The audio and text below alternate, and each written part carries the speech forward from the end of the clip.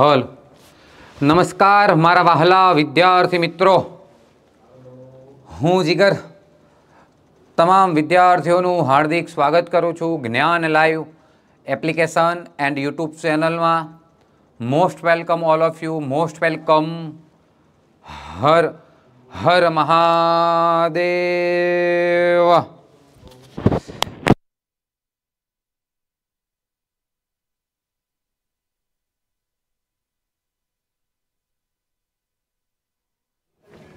ચલો. નમસ્કાર.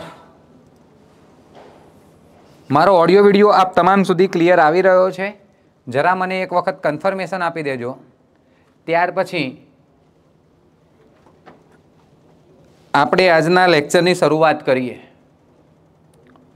મારો ઓડિયો વિડિયો તમારા સુધી ક્લિયર આવી રહ્યો છે.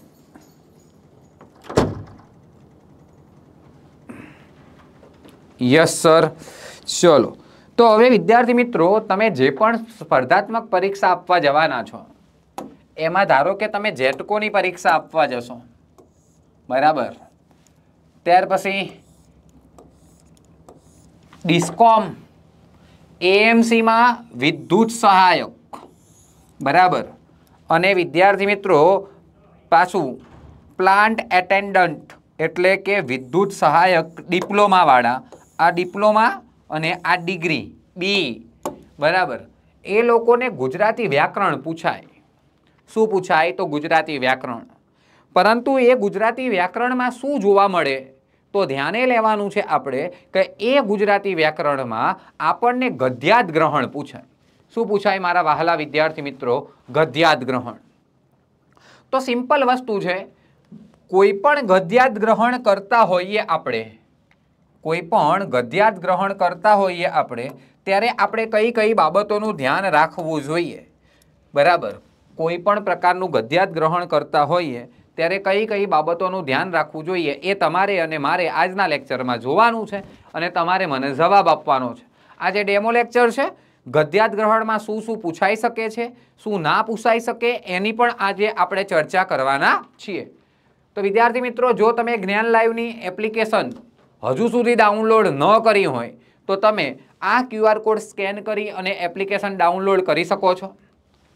આપણે જ્ઞાન લાઈવ જે ખરા, એ જ્ઞાન લાઈવ તમારા માટે ક્યાંક ને ક્યાંક ખૂબ સરસ મજાની બેચ લોન્ચ કરેલી છે.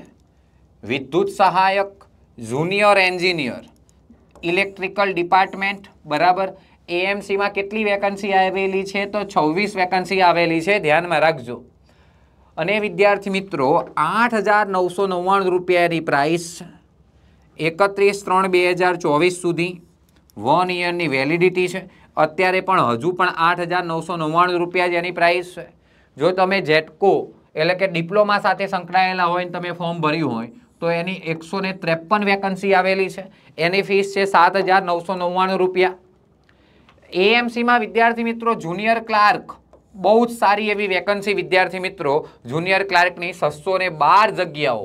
અમદાવાદ મ્યુનિસિપાલિટી કોર્પોરેશનમાં જેની ફીસ છે ચૌદ હજાર રૂપિયા, પરંતુ એમાં અત્યારે બમ્પર ડિસ્કાઉન્ટ ચાલતું હોવાથી એમાં સાત હજાર નવસો નવ્વાણું રૂપિયા ફીસ ફોર્મ ભરવાના શરૂ થઈ ગયા છે પંદર ત્રણ બે હજાર ચૌદથી ચોવીસથી પંદર ચાર બે હજાર ચોવીસ સુધી ફોર્મ ભરાવાના છે.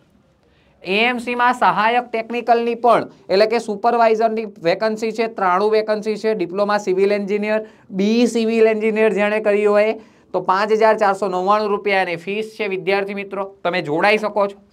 હવે આપણે પહેલાં તો યાદ રાખો, જ્યારે તમને કોઈ ગદ્ય કાં તો પદ્ય પૂછાય, યાદ રાખજો. મોટા ભાગે તો ગદ્ય જ પૂછાય છે. અને આ ગદ્ય પરથી જ્યારે પ્રશ્નો કરવાના હોય તો જ્યારે પણ આપણે દસમા, આઠમા, નવમામાં ભણતા હતા, ત્યારે આપણને ક્યાંક ને ક્યાંક આપણા સાહેબે આવું શીખવાડ્યું હતું કે ગધ્યાદ ગ્રહણ આવે એટલે એક જ વસ્તુ હોય ભાઈ. ગધ્યાદ ગ્રહણ આવે એટલે એક જ વસ્તુ યાદ આવે. તો એક સુંદર મજાનો ફકરો આપેલો હશે અને એ સુંદર મજાના ફકરા ઉપરથી નીચે ક્વેશ્ચન હશે અને એ ક્વેશ્ચન પરથી નીચે ચાર ઓપ્શન આપેલા હશે અને એ ઓપ્શનમાંથી તમારે સાચો ઓપ્શન જે છે એ સિલેક્ટ કરવાનો છે. હા ને? આ વસ્તુ શ્યોર છે. આપણને બધાને ખબર છે. હવે જો આપણી પાસે સારો એવો સમય હોય ગદ્યાત ગ્રહણ કરવા માટે, તમારી અને મારી પાસે સારો એવો સમય હોય ગદ્યાત ગ્રહણ કરવા માટે, તો એક વસ્તુને ધ્યાનમાં રાખવું. જરૂરી નથી ગધ્યાત ગ્રહણમાં કેટલા પ્રશ્ન પૂછાય. ગધ્યાત ગ્રહણ આપ્યા હોય તો ત્રણ પ્રશ્ન પણ પૂછાય, પાંચ પ્રશ્ન પણ પૂછાય. અત્યારે તમે ચેક કરી જુઓ. તો સીસીઈની જે પરીક્ષા છે ને, એમાં તો ગદ્યાત ગ્રહણ જે છે, બરાબર, એમાં આટલો નાનો ફકરો આપ્યો હોય અને નીચે એક જ પ્રશ્ન પૂછ્યો હોય. તો એકાદો પ્રશ્ન પૂછાય છે. એટલે એવું જરૂરી નથી કેટલા પ્રશ્નો પૂછાય. તમારી પરીક્ષામાં પ્રોપર લખેલું છે કોમ્પ્રિહેન્શન, એટલા માટે હું એવું માનું છું કે તમને પાંચ માર્ક્સનો ગદ્યાત ગ્રહણ પૂછાય. કેટલા માર્ક્સનો? તો પાંચ માર્ક્સનો. તો આપણે આના માટે શું શું ધ્યાનમાં રાખવું જોઈએ? તો હું હંમેશા પહેલાં કહીશ કે પહેલાં તમને જે પાંચ પ્રશ્ન આપેલા છે, એ પાંચ પ્રશ્નના ફટાફટ વાંચી લો.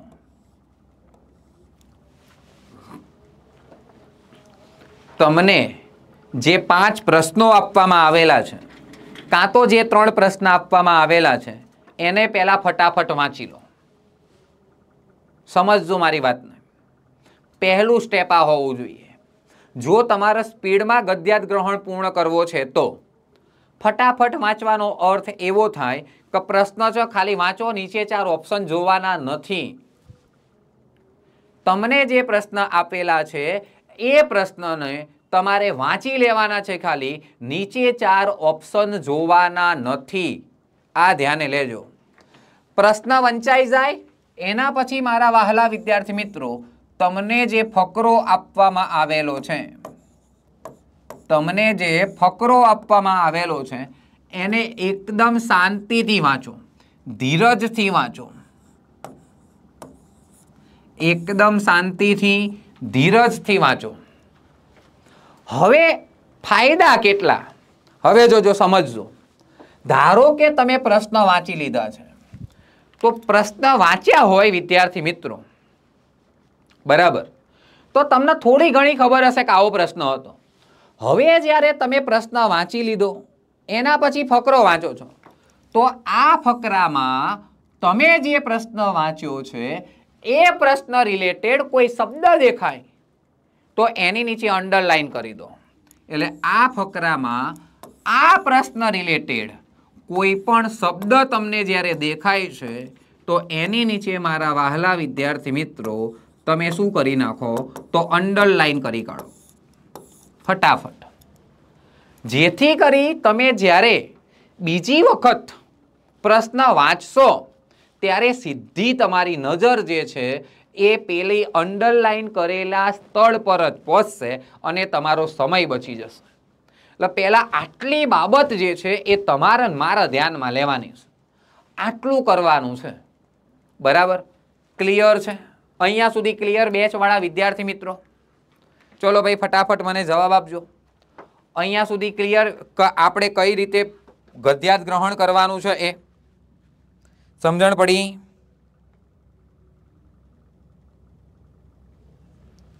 ચલો. Okay, done. તો પહેલાં હંમેશા શું વાંચી લઈશું? પ્રશ્ન વાંચી લઈશું. પણ એક વસ્તુને ધ્યાને લેજો. તમે પ્રશ્ન વાંચી શકો છો કારણ કે મેં તો અહીંયા ટીક કરેલા છે. એટલે આજના લેક્ચરમાં આપણે પહેલાં ફકરો જ વાંચીશું. પહેલાં શું વાંચીશું? ફકરો જ વાંચીશું. ધ્યાનમાં લેજો. તો જોઈએ હવે આપણે, જેથી કરીને વાંધો ના આવે. જો પહેલાં પ્રશ્ન જ વાંચી લો. આપણે આપણી ફરજો શા માટે બજાવવી જોઈએ? તમે પ્રશ્ન વાંચ્યો?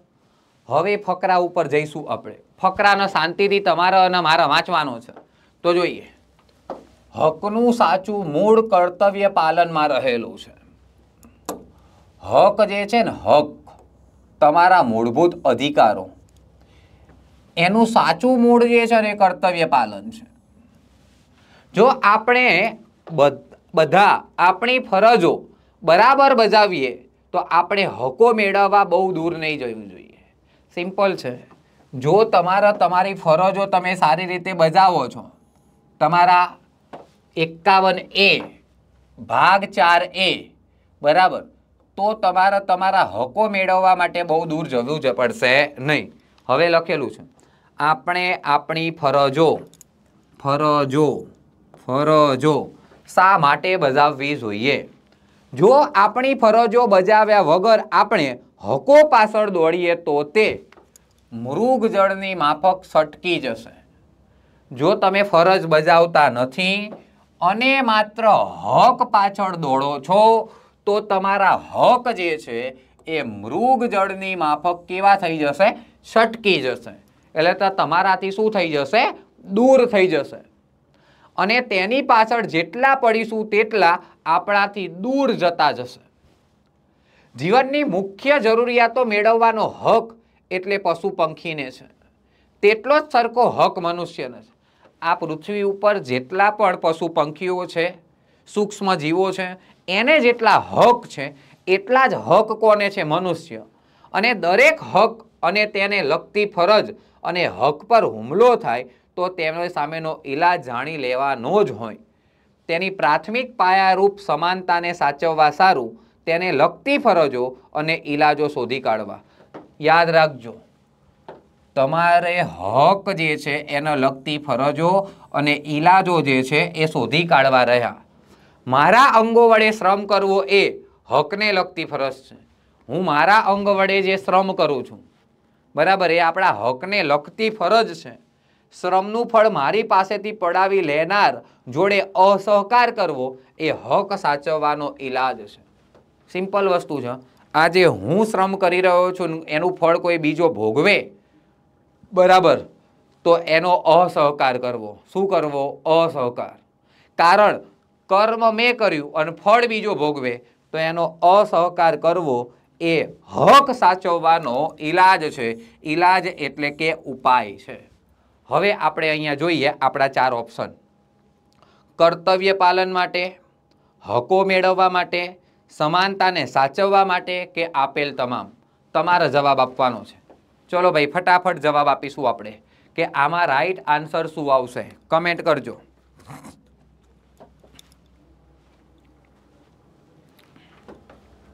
બધી જ જગ્યા ઉપર મેં અંડરલાઈન કરેલી છે.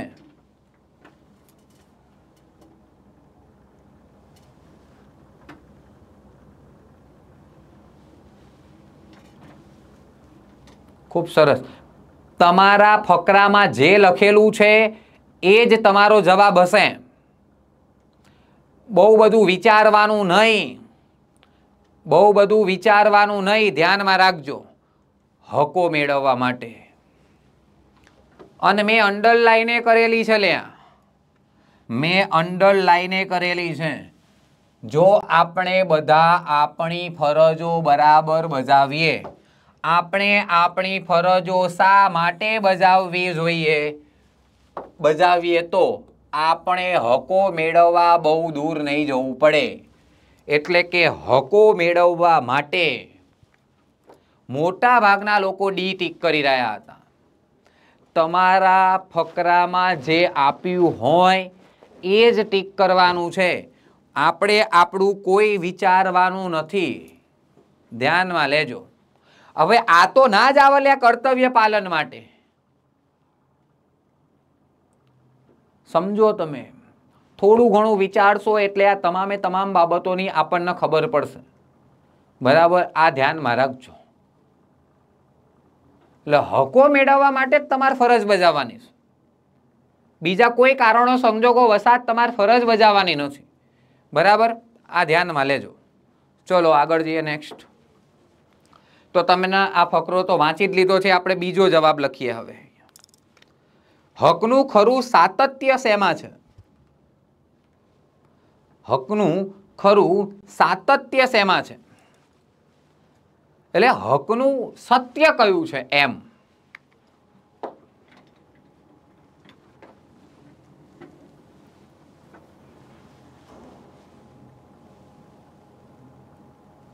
યસ. ફટાફટ જવાબ આપજો. તમે આવા ફકરો વાંચ્યો છે? ના વાંચ્યું હોય તો બીજી વાર વાંચો. તમારા જવા, અંદર જ જવાબ છે.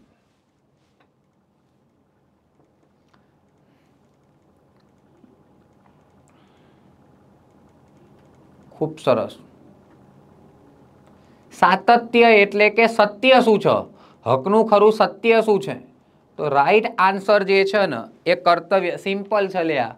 સત્ય સાચું. પહેલા જ વાક્યમાં એનો જવાબ હકનું સાચું મૂળ સાતત્ય. સાચું એટલે સાતત્ય. અહીંયા ખાલી શબ્દ બદલેલો છે. ખરું, સાચું. સાતત્ય એટલે મૂળ. સાતત્ય, ખરું, મૂળ સામા છે? તો કર્તવ્ય પાલનમાં. મોટાભાગના લોકો આમાં રાઈટ આન્સર આપે છે બી એટલે ખૂબ સરસ. બરાબર, ધ્યાનમાં રાખજો. આગળ જઈએ નેક્સ્ટ જીવનની મુખ્ય જરૂરિયાતો મેળવવાનો હક કોને કોને છે? જીવનની મુખ્ય બધાન છે ભાઈ. બરાબર? બધાને. મુખ્ય જરૂરિયાતો મેળવવાનો હક કોને કોને છે? બધાને. ચલો.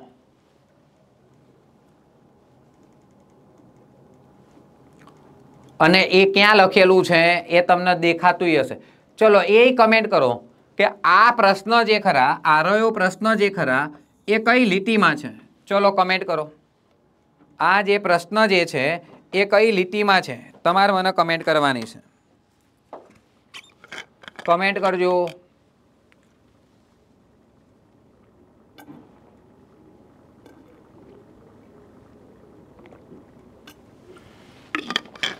ખૂબ સરસ. યસ આપણે ત્યાંય ટીક કર્યું હતું. તો સિમ્પલ વસ્તુ છે. રાઈટ આન્સર એ અને બી આવશે. રાઈટ આન્સર કયો આવશે? તો એ અને બી એ આપણો કેવો આન્સર છે? તો રાઈટ આન્સર છે. ચલો આગળ જઈશું અને સમજીશું હજુ. ઓકે શ્રમનું ફળ પડાવી લેનાર જોડે શું કરવું જોઈએ? છેલ્લી લાઈન જુઓ ને એટલે તમને જવાબ મળશે. શ્રમ, મેં હું શ્રમ કરું અને એનું ફળ બીજો ભોગવે, કાં તો એ પડાવી લે. બરાબર? તો શું? છેલ્લી લાઈન જુઓ છેલ્લી લાઈન. છેલ્લી લાઈન જોશો એટલે તમને ખબર પડી જશે કે આમાં રાઈટ આન્સર કયો આવશે.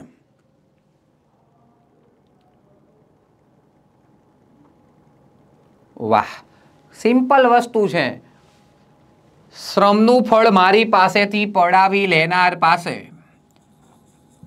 કાં તો જોડે અસહકાર કરવો જોઈએ.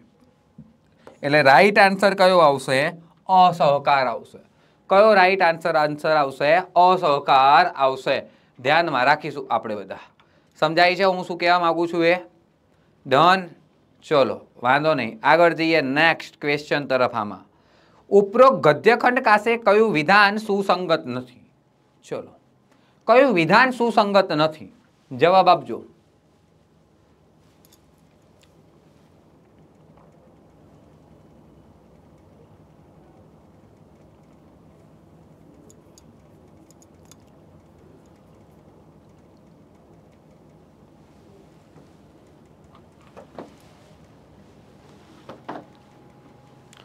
સુસંગત નથી હો. અહીંયા એવું લખેલું છે, સુસંગત નથી. બધા રાઈટ છે, મોટાભાગના વિદ્યાર્થીઓ બેચવાળા વિદ્યાર્થીઓ તો રાઈટ જ છે. સુસંગત એટલે શું? આની સાથે જોડાયેલું નથી. આની અંદર હોય એ તમારે નહીં લખવાનું. સુસંગત. એટલે આની સાથે સંગત નથી એમ. બરાબર? આની સાથે એનો કોઈ લેવા દેવા નથી, આ ફકરા સાથે આનો કોઈ લેવા દેવા નથી. ખૂબ સરસ. તો રાઈટ આન્સર આવે ગર્ભ સંસ્કાર. આ ફકરામાં કોઈ જગ્યાએ ગર્ભ સંસ્કારનો ઉલ્લેખ કરેલો છે? આ ફકરો જે ખરા, એમાં કોઈ જગ્યાએ ગર્ભ સંસ્કારનો ઉલ્લેખ કરેલો છે? ના. તો રાઈટ આન્સર ડી આવશે. પણ પણ તમે જ્યારે આવા ફકરાઓ કરતા હોવ ને, ત્યારે કદાચ હજુ તમને ફકરા પરથી જ્યારે પ્રશ્ન પૂછો ને ત્યારે અહીંયાથી આવો પ્રશ્ન પૂછી શકા આ લોકો ધ્યાને લેજો. અહીંયા તમને આ દેખાય છે. અહીંયા શું લખેલું છે? પશુ પંખી. અહીંયા આવું આપણને લખીને આપેલું છે.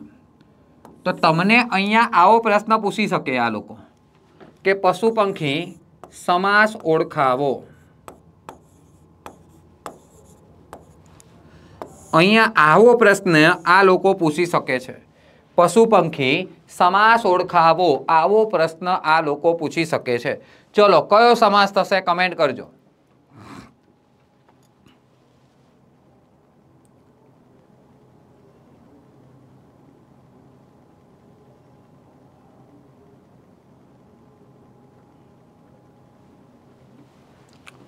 રોહિતભાઈ, અત્યારે હાલ પોસિબલ નથી. બરાબર આ જ લેક્ચર હું માંડ માંડ લઉં છું. દ્વંદ્વ સમાસ છે. કયો સમાસ છે? દ્વંદ્વ સમાસ. દ્વિગુ ના થાય લ્યા. દ્વંદ્વ થાય. પશુ અને પંખી. હા, સમાસ નહીં. ખાલી જસ્ટ કહું છું અમનભાઈ, કે આવું પૂછાઈ શકે. બરાબર? એટલે તમે ચિંતા ના કરતા. આપણે ભણાવવાના જ છે કે સમાસ આર્યો આર્યો આર્યો આર્યો, આવો સમાસ થાય એમ. બરાબર? યસ. પશુ અને પંખી. એટલા માટે આ આવો પ્રશ્ન જ્યારે પૂછાય ત્યારે તમને એ ખબર હોવી જોઈએ.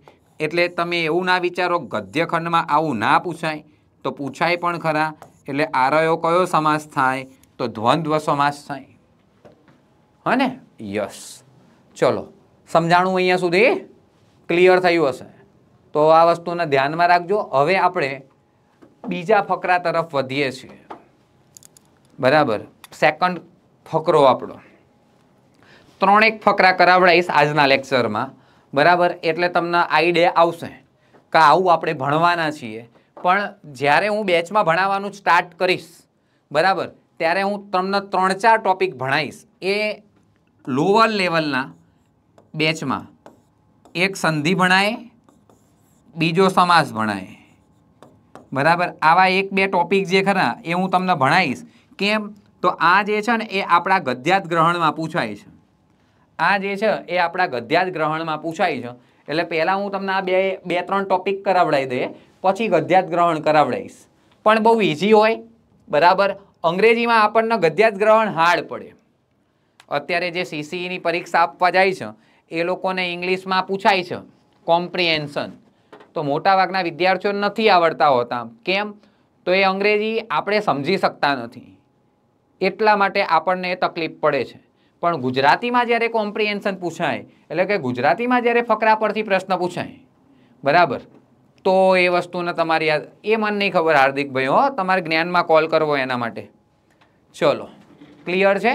ચલો, તો હવે પહેલાં જોજો, પહેલાં પ્રશ્ન વાંચી લઈએ. એક પ્રશ્ન વાંચ્યા પછી આપણે આપણો ફકરો જોઈએ.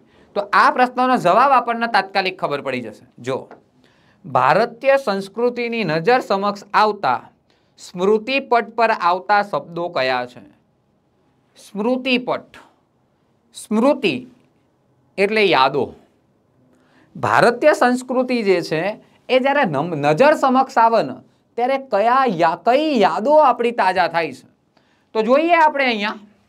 ભારતીય સંસ્કૃતિ શબ્દ નજર સમક્ષ આવતા જ, જ્યારે નજર સમક્ષ આવે છે, ત્યારે જ વિવિધતામાં એકતા ધર્મ સહિષ્ણુતા સર્વધર્મ સંભાવ વગેરે જેવા શબ્દ, શબ્દો સ્મૃતિપટ પર અંકાય છે.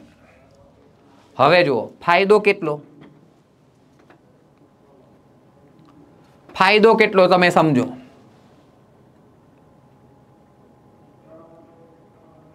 હા, એમાંથી જ પૂછાય પાર્થભાઈ હો. ફાયદો કેટલો? તમે પહેલા પ્રશ્ન વાંચી લીધો. પ્રશ્ન વાંચી અને તમે ફકરા ઉપર ગયા એટલે તમને જવાબ મળી ગયો. પહેલી જ લીટીમ તમને એનો જવાબ મળી ગયો. સમજાય છે? પહેલી જ લીટીમ તમને એનો જવાબ મળી ગયો. હવે મુદ્રિકા બેને જવાબ આપ્યો આપણને સાહેબ તમામ. ઓબ્વિયસલી વસ્તુ છે કે એનો જવાબ કયો આવતો હશે? આપેલ તમામ જવાબ આવતો હશે.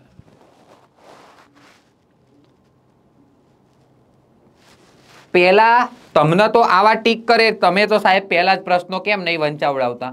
હું પહેલા એટલે પ્રશ્નો નહીં વંચાવડાવતો કે દરેક પ્રશ્નમાં આવું ટીક કરેલું છે. એટલે નહીં તો તમે સમજો, તમે પાંચે પાંચ પ્રશ્ન એક વખત નજર સમક્ષથી નીકાળી દીધા હોય. બરાબર? પાંચે પાંચ પ્રશ્ન. અને ત્યાર પછી તમે એકવાર ફકરો વાંચ્યો હોય ને, તો ધડ ધડ ધડ ટીક થાય. આ શ્યોર છે. બરાબર? તો તાત્કાલિક ધોરણે ટીક થઈ જાય ભાઈ. પછી તમારે કોઈ લોડ લેવાની જરૂરિયાત ના પડે. હન, હર હર મહાદેવ, હર હર મહાદેવ. હન, યસ. તો આ ધ્યાનમાં રાખજો. પણ હવે આપણે આગળ વાંચીએ. ખરેખર આપણી સંસ્કૃતિ કેવી અને કેટલી અજોડ છે?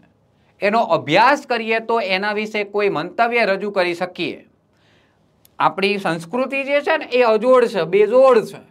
એનો અભ્યાસ કરો ને ત્યારે જ ખબર પડે.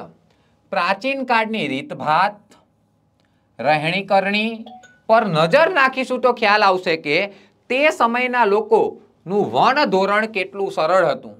જરૂરિયાતો ઓછી હતી અને લોકો સુખી, સંતોષી હતા. પ્રાચીન કાળના લોકોની જરૂરિયાતો ઓછી હતી, એટલા માટે એ લોકો સુખી હતા અને સંતોષી હતા. લોભ, લાલચ, સ્વાર્થ, કપટ વગેરે જેવા શબ્દો કદાચ એમના શબ્દકોશમાં જ ન હતા. કોના શબ્દકોશમાં ન હતા? પ્રાચીન કાળના જે લોકો છે, એ લોકોના શબ્દકોશમાં, વિદ્યાર્થી મિત્રો, એ લોકોના શબ્દકોશમાં આવા કોઈ શબ્દ ન હતા. કયા? તો લોભ, લાલચ, સ્વાર્થ, કપટ, આવા કોઈ શબ્દ ન હતા. ધ્યાને લેજો. તેઓ પોતાના બાળકોમાં સદગુણોનું સિંચન કરતા, સારા માનવોના નિર્માણનો પ્રયત્ન કરતા ખાસ કરીને પોતે અમલ કરી સદગુણોનું પાલન કરવાની ટેવ પાડતા. આ વધારે અસરકારક શિક્ષક, શિક્ષણ છે એવી સમજ તેઓ ધરાવતા. પ્રાચીન કાળમાં જ્ઞાનને વધારવા મહત્તા અપાતી તેથી જ ઋષિમુનિઓ ખૂબ માન અપાતું અને જેટલું મેળવી શકાય એટલું જ્ઞાન એમની પાસેથી મેળવતા. એટલે પહેલાં આપણે ઋષિમુનિઓ પાસેથી જ્ઞાન મેળવતા. દરેક ક્ષેત્રમાં સમજપૂર્વક આગળ વધતા. આ સાચી સમજણ અને સ્વાવલંબન એ સંસ્કૃતિની ધરોહર છે. સાચી સમજણ અને સ્વાવલંબન જે ખરા એ સંસ્કૃતિની શું છે? તો ધરોહર છે. સર્વ ધર્મ સંભાવ અને ધર્મ સહિષ્ણુતા પણ સમાજ, સમજને કારણે જ જન્મે છે. જો આટલી સમજણ કેળવીશું, તો ઉમાશંકર જોશીની પ્રસિદ્ધ પંક્તિ યાદ આવશે.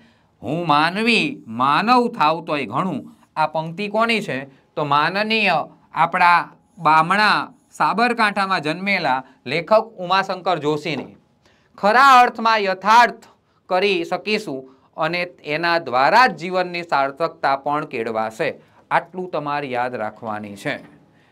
આવી અંડરલાઈનો કરતા રહેવું પ્રશ્ન વાંચ્યા હશે તો આ અંડરલાઈન થઈ જશે. એ કન્ફર્મ છે. પણ એના માટે તમે શું વાંચેલું હોવું જોઈએ પ્રશ્ન? તો હવે આપણે સેકન્ડ ક્વેશ્ચન પર જઈએ તો તમને ખ્યાલ આવશે. પ્રાચીન કાળમાં કોને વધારે મહત્તા અપાતી? ચલો, પ્રાચીન કાળમાં કોને વધારે મહત્તા અપાતી હતી? જવાબ આપજો. જો આગળ જોશો ને તો તમને ખબર પડશે કે મહત્તા.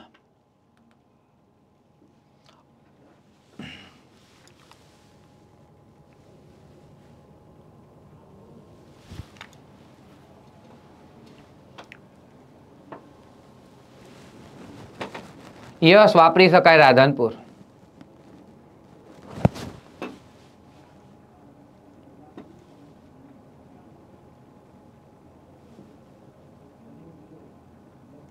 હવે જો આગળ આપણે ત્યાં ટીક કરી જશે આગળ જઈશું તો આપણે ત્યાં કદાચ ટીક કર્યું હશે.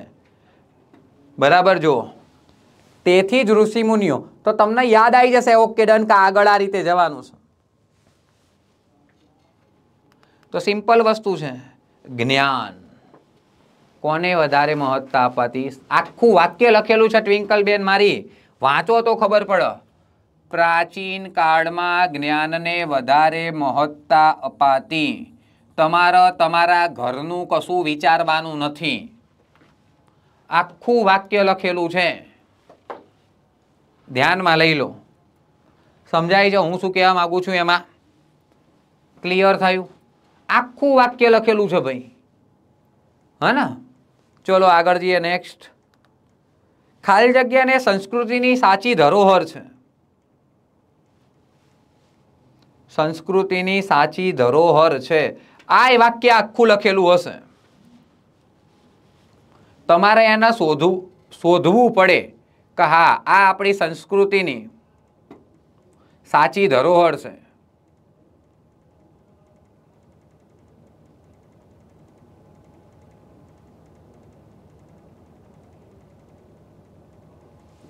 આખું વાક્ય હશે આખું વાક્ય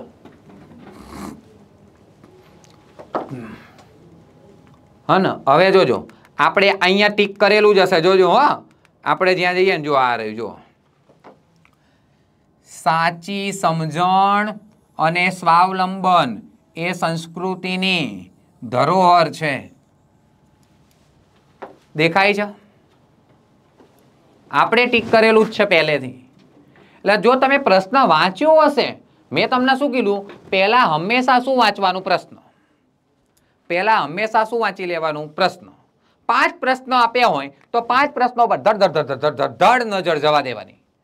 અને એના પછી જ્યારે તમે ફકરો વાંચો છો, તો તમારો જવાબ જલ્દી આવી જશે. તમને ખબર પડી જશે કે આવું આવ્યું તું ધરોહર, તો તમે તાત્કાલિક ફકરો વાંચશો ને એટલે અંડરલાઈન કરી દેશો. કે હા, ઓકે, ડન. તો ધ્યાનમાં રાખજો. તો આપણને દેખાય છે એ અને બી બંને આવશે. ચલો આગળ જઈએ નેક્સ્ટ માનવી હું માનવ થાવ તો એ ઘણુંના લેખક કોણ છે? આમાં તો કદાચ મારા મતે આપણે કંઈ જોવાની જરૂરિયાત નથી કે આના લેખક કોણ હશે એમ.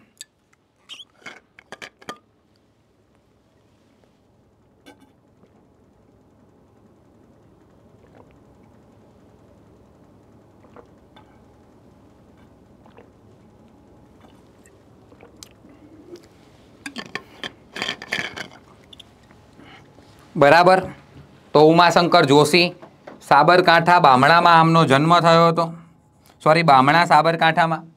બહુ જ મહો, આપણા બહુ જ મસ્ત મજાના લેખક.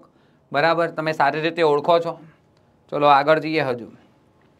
સદગુણના પાલનની ટેવ કરતાં વધુ અસરકારક વસ્તુ શેને માનવામાં આવતી? ચલો.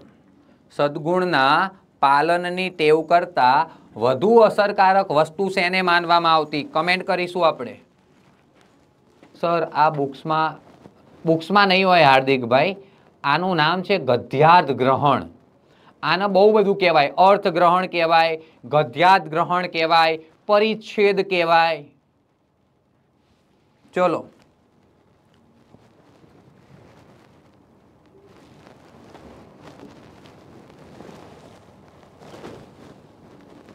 યસ. રાઈટ આન્સર શિક્ષણ આવશે. કેમ? તો જો અહીંયા લખ્યું.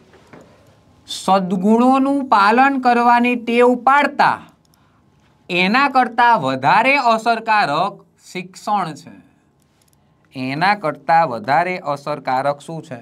તો શિક્ષણ છે. જે આપણને જોઈને જ ખ્યાલ આવી જાય છે કે અહીંયા આ રાઈટ આન્સર આવશે. બરાબર? ચલો આગળ.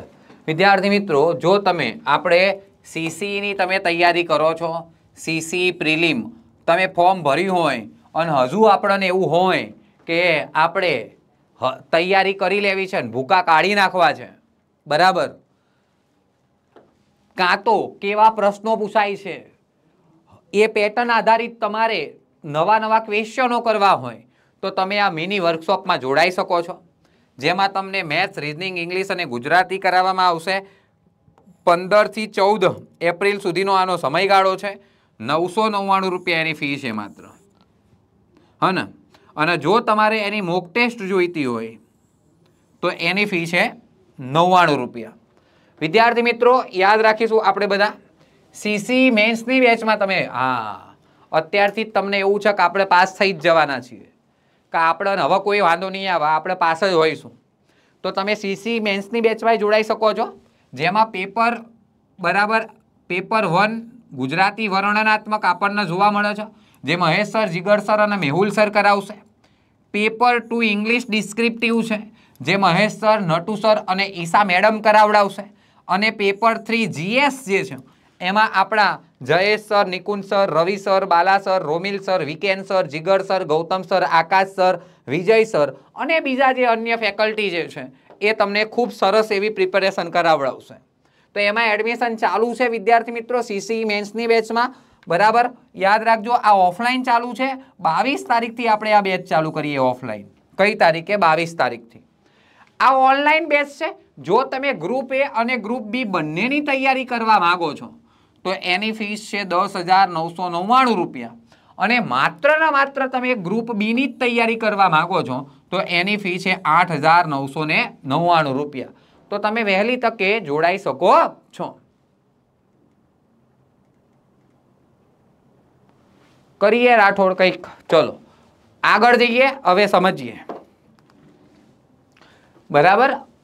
આજનો આ છેલ્લો ફકરો હશે. આના પછી આપણે છૂટા પડીશું કારણ કે ડેમો લેક્ચર છે એટલે. બરાબર? પણ તમારે શાંતિથી વાંચવાનું છે, શાંતિથી આપણે આ ફકરાને પૂર્ણ કરવાનો છે. તો જોઈએ, લોકતંત્રના જો હવે લોકતંત્ર શબ્દ આવન એટલે આપણે વિચારવું બહુ પડે.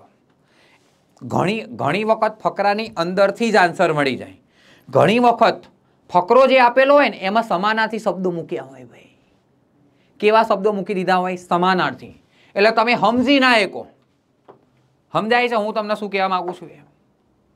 હા ને તમે સમજી ના શકો કે આ શું કહેવા માગો છે તો એટલા જ માટે તમારે યાદ રાખવાનું છે કે લોકતંત્રના અનેક આધારો છે. અનેક આધારો છે, ધ્યાનમાં રાખજો.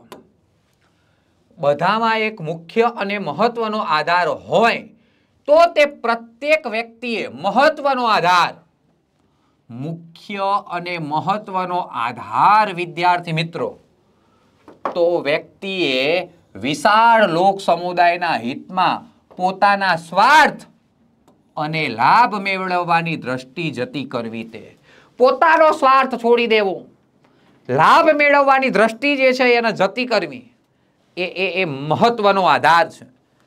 હવે જો, વિશાળ લોક સમુદાયને પજવવું, લોક સમુદાય માટે સ્વાર્થ વૃત્તિ ન રાખવી, પરહિત માટે લાભ મેળવવાની આશા ન રાખવી. બી અને સી બંને. ચલો જવાબ આપજો, મેં ટીક કરી દીધેલું છે. હવે તમારે જવાબ આપવાનો છે. મેં તો ટીક કરી દીધું છે ભાઈ. તમારે મને જવાબ આપવાનો છે કે કયો જવાબ આવશે?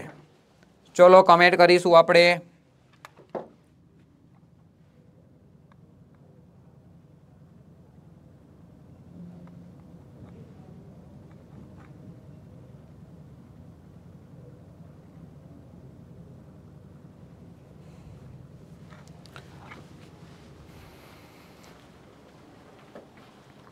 યસ રાઈટ બી અને સી આવશે. ડી આવો. એટલે ખૂબ સરસ બધાના રાઈટ છે. બધાના રાઈટ છે. પણ આપણે વાંચીએ. જો આપણે આપણા સમગ્ર ઇતિહાસના વિશાળ ફલકનું ઉડતી નજરે અવલોકન કરીશું, આપણા ઇતિહાસ જે છે આપણો, અને એના, એનું અવલોકન કરીશું. શાનું અવલોકન કરવાનું છે? તો ઇતિહાસનું અવલોકન કરવાનું કહે છે. તો જણાયા વિના નહીં રહે કે આપણા દેશમાં સારા નસરાનો વિચાર કર્યા વિના આપણા દેશમાં લોકો કેવા ખબર? સારા નસરાનો વિચાર કર્યા વિના બીજાના હિતના ભોગે સ્વાર્થ સાધવાની વૃત્તિએ હંમેશા સર્વનાશ નોતર્યો છે. કોણે સર્વનાશ નોતર્યો બોલો, કોણે સર્વનાશ નોતર્યો તો આપણે ક્યારેય બીજાના હિતનું વિચારતા નથી એવું લખેલું છે. સારા નસરાનો વિચાર કરતા નથી. બીજાના હિતના ભોગે સ્વાર્થ સાધવાની વૃત્તિ જે છે, એણે સર્વનાશનો અતર્યો છે.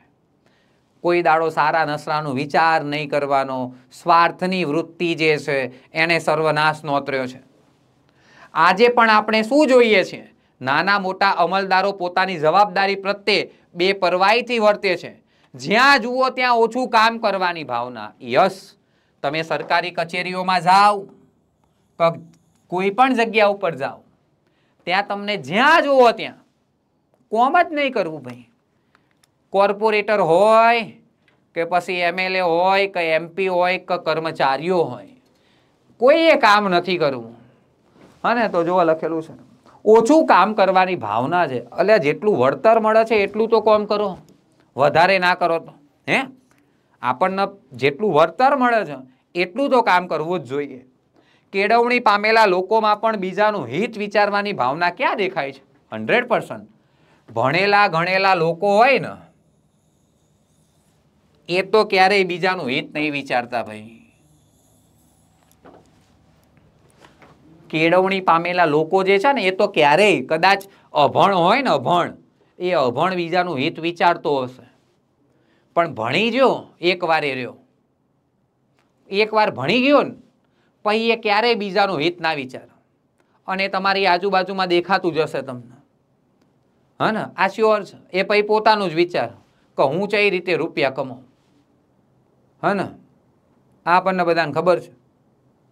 તમારે ચેક કરવું હોય ને તો કરજો. ગામડામાં કદાચ જે આપણા દાદા દાદી કાં તો આપણા મમ્મી પપ્પા કે જે લોકો ક્યાંક ને ક્યાંક ગામડામાં રહેતા હશે, એ લોકો જે કદાચ અભણ હશે ને તો એમનામાં એક લોકોની સેવા કરવાની ભાવના હશે. પણ તમે ચેક કરો. એકવાર ભણી ગયા પછી કેવા ડખા થાય છે. આ બધું આપણને ક્યાં દોરી જશે? આપણે જ્યાં લોકોનું રાજ્ય સ્થપાયું છે, પણ એના માટે મજબૂત પાયો નખાયો નથી. આ એક વિવાદથી પર એવું કડવું એક સત્ય છે. તો હવે આપણે જોઈએ બીજો પ્રશ્ન. આપણા દેશમાં કઈ વૃત્તિ હંમેશા નાશ નોતર્યો છે?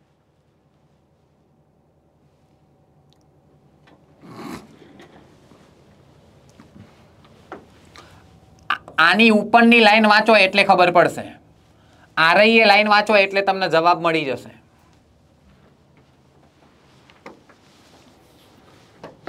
એ લાઈન વાંચશો એટલે તમને જવાબ મળી જશે.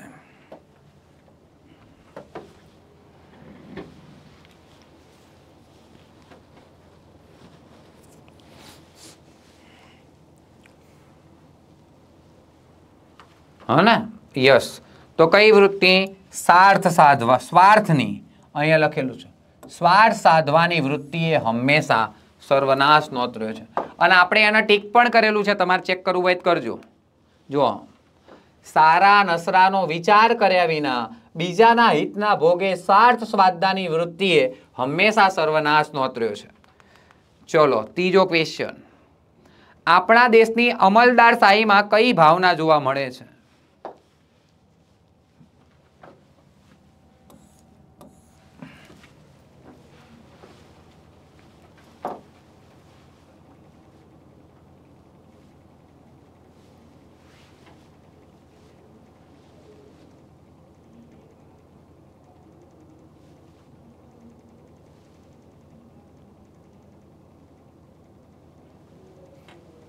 ચલો જવાબ આપજો. એટલે તમને ખ્યાલ આવશે. અમલ જો, તમે પ્રશ્ન વાંચીને ફકરો વાંચ્યો હશે, તો તમે ફટાફટ જવાબ ટીક કરી શકશો. મેં, હું કેમ ડાયરેક્ટ જ ત્યાં ટીક કર્યું? કારણ કે મેં ફકરો વાંચ્યો છે શાંતિથી, મને દિમાગમાં છે. તો રાઈટ આન્સર આવશે બીજાનું હિત ન વિચારવાની. કયો રાઈટ આન્સર આવશે? બીજાનું હિત ન વિચારવાની. બરાબર? ધ્યાનમાં રાખીશું આપણે બધા. તો આ આવી બાબતો જે છે ને, એ આપણને પ્રોપર રીતે ખબર હોવી જોઈએ. ખ્યાલ ખ્યાલ આવે છે? હું શું કહેવા માગું છું? એ ડન છે? ચલો. આમાંથી, ઓકે. હજુ અહીંયાથી આ પ્રશ્ન પૂછાયો સારું નસરું. સમાસ ઓળખાવો. આ મારો પ્રશ્ન છે. સારું નસરું. સમાસ ઓળખાવો. કમેન્ટ કરીશું આપણે બધા. કદાચ આવો પ્રશ્ન આપણને પૂછાય. સારું નસરું સમાસ ઓળખાવો.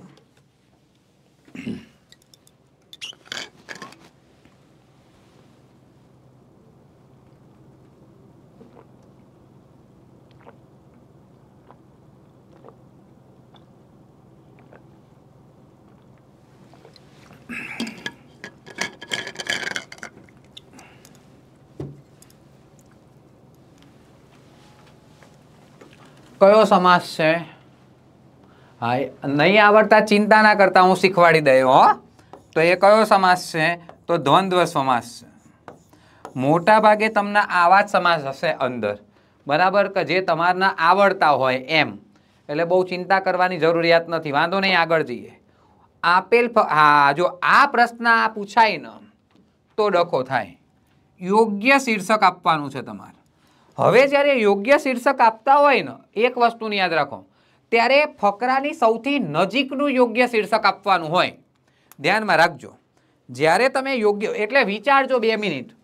ફકરાને ફરીથી વાંચવો પડે કે લોક સમુદાયની ઓળખ, લોકતંત્રનો આધાર, સાચી લોકશાહી કે એક પણ નહીં. બરાબર? હવે જરૂરી ના હોય હો કે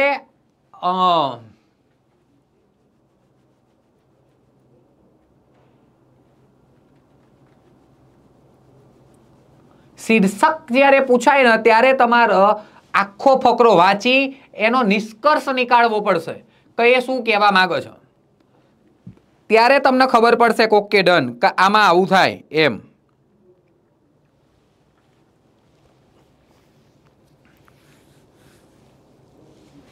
ચલો. બરાબર? તો અહીંયા રાઈટ આન્સર આવશે સાચી લોકશાહી. હવે મોટા ભાગના લોકો છે ને આ ટીક કરો. કેમ ખબર? આરવીએ વાંચીને. ભાઈ, તમારે એક લીટીથી તમારા આખું શીર્ષક નહીં બનાવવાનું. આખા ફકરો જે છે, એ ફકરાથી તમારે શીર્ષક બનાવવાનું છે. સમજો? આને સાચી લોકશાહી કહેવાય લે સાચી લોકશાહી કોને કહેવાય? તમે લોકોનું હિત વિચારો. હને? એ તમારી સાચી લોકશાહી છે. આપણા અમલદારો હોય, આપણા સરકારી કર્મચારીઓ હોય હા. બરાબર. આપણા સરકારી કર્મચારીઓ હોય, આપણા નેતાઓ હોય, ભણેલા ગણેલા લોકો હોય, એ બધા લોકો જ્યારે લોકોનું હિત વિચારશે, બરાબર, એ એમની ફરજોનું પાલન કરશે, ત્યારે સાચી લોકશાહી થશે. એ વગર સાચી લોકશાહી થાય નહીં. એટલે એક લીટીના આધારે તમે ક્યારે શીર્ષક ના લખી શકો. હને, એક લીટીના આધારે તમે ક્યારેય શીર્ષક ના લખી શકો, આ ધ્યાનમાં રાખવું. ચલો. નીચેનામાંથી સાચી જોડણી શોધો. ભૂલ ભૂલામણી ભૂલ ભૂલામણી ભૂલ ભૂલામણી ભૂલ ભૂલામણી. અહીંયા કોઈ જગ્યાએ ભૂલ લખેલું હશે. બરાબર યાદ રાખજો. કોક જગ્યા ઉપર ભૂલ લખેલું હશે અને એના પરથી ક્યાંક ને ક્યાંક આ જોડણી પૂછી છે. પણ ભૂલ ભૂલામણી ડી જવાબ આવો. એ ભૂલ ભૂલામણીના આધારે તમારે ટીક કરવાનું છે. ચલો. તો આટલી વસ્તુ આપણને પ્રોપર રીતે ખબર હોવી જોઈએ. અને આશા રાખું છું કે તમને અહીંયા ખ્યાલ આવ્યો હશે. હું જે કહેવા માગું છું એ. બરાબર? ધ્યાનમાં રાખજો. ક્લિયર થાય છે? તો વિદ્યાર્થી મિત્રો, આપણે એક કોન્સ્ટેબલની વંદન બેચ ચાલુ કરી છે. કઈ બેચ ચાલુ કરી છે? વંદન. તો આ જે વંદન બેચ છે, એ વંદન બેચની ફી છે સોળ હજાર નવસો નવ્વાણું રૂપિયા. વન ઇયરની વેલિડિટી છે અને એની સાથે એકસો સાહીઠ કલાકનો ફાઉન્ડેશન કોર્સ તમને ફ્રીમાં મળે છે. એક ચાર બે હજાર ચોવીસથી આ બેચ ચાલુ થઈ ગઈ છે, જેમાં દરરોજના બે લેક્ચર આવે છે અને જેના અત્યારે બમ્પર ડિસ્કાઉન્ટ ચાલે છે, તો આઠ હજાર એકસો નવ્વાણું રૂપિયાની પ્રાઇસ જો તમે ગાંધીનગર ઓફલાઈન આવી, બરાબર, ગાંધીનગર ઓફલાઈન આવી અને તમે તૈયાર, હાર્દિકભાઈ, હમણાં મેં એનો જવાબ આપી દીધો હતો. હો ભાઈ, એકના એક પ્રશ્ન ના પૂછો ખાલી. એ મને ના ખબર હોય. એ અહીંયા મેનેજમેન્ટ ટીમને કોલ કરી અને પ્રશ્ન પૂછો. બરાબર, તો ધ્યાનમાં રાખીશું આપણે બધા. ઓફલાઈન જો તમે બેચ ચાલુ કર- કરવા માંગતા હોય, તો ઓફલાઈન બેચનો સમય છે સાડા દસથી સાડા બાર વાગ્યાનો. જેના ડેમો લેક્ચર પાંચથી અગિયાર એપ્રિલના રોજ રાખેલા છે આપણે. બેચ ચાલુ થશે પંદર એપ્રિલ બે હજાર ચોવીસની ફી કેટલી છે તો પચીસ હજાર પાંચસો રૂપિયા. પીએસઆઈમાં પણ આપણે મારા વહાલા વિદ્યાર્થી મિત્રો વંદન બેચ ચાલુ કરેલી છે. બરાબર? એમાં તમને ફિઝિકલ બુક મળે છે લાઈવ લેક્ચર્સ મળે છે ટેસ્ટનું પ્લાનિંગ મળે છે, રેકોર્ડેડ લેક્ચર્સ મળે છે. સાથે સાથે વિદ્યાર્થી મિત્રો, એક ચાર બે હજાર ચોવીસથી બેચ ચાલુ થાય. એમાં પણ એકસો સાહીઠ કલાકનો જે એનસીઆરટી, જીસીઆરટીનો અને મેથ્સ રિઝનિંગ જે એકદમ પાયાના લેવલનું કરાવેલું છે, એ તમને ફાઉન્ડેશન બેચ જે હતી, એ તમને ફ્રીમાં મળશે. ઓફલાઈન જો તમે પીએસઆઈની તૈયારી કરવા માંગતા હોવ, તો એનો સમય છે સાડા દસથી સાડા બારનો. તમે પાંચથી અગિયાર એપ્રિલની વચ્ચે તમે ડેમો લેક્ચર ભરવા માટે આવી શકો છો. તેત્રીસ હજાર પાંચસો રૂપિયા એની ફીસ છે. ચલો, ડન છે? હા. મારું નામ છે જીગર કાપડિયા. બરાબર? તો આજે અહીંયા આટલું રાખીએ છીએ. તમારી મોટાભાગની આજે જે મેં તમને ભણાવ્યું એવા જ ક્વેશ્ચનો તમારી પરીક્ષામાં તમને જોવા મળશે. મળીએ આપણે આવતા લેક્ચરમાં. ત્યાં સુધી જય હિન્દ. જય ભારત